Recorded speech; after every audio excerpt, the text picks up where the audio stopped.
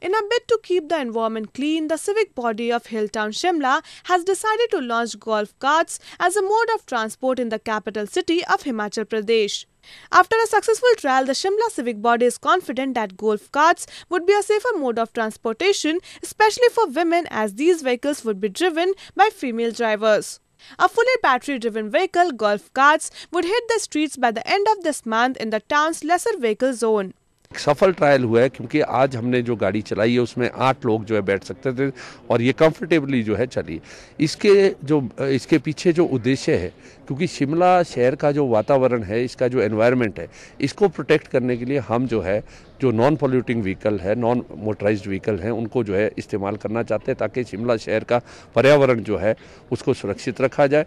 और विशेष तौर पर जो बुज़ुर्ग हैं, महिलाएँ हैं उनको जो है बेहतर सुविधा प्रदान करने की He added that initially 16 golf carts would be rolled out for four different routes. The fleet of the carts would be expanded as per demand.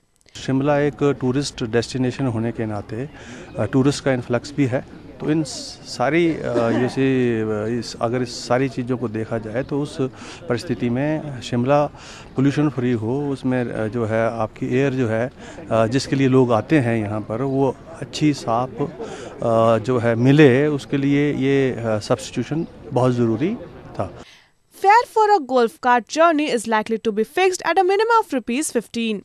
Tickets will be issued through electronic ticketing machines and 60% of the seats will be reserved for the physically challenged elderly, children and women.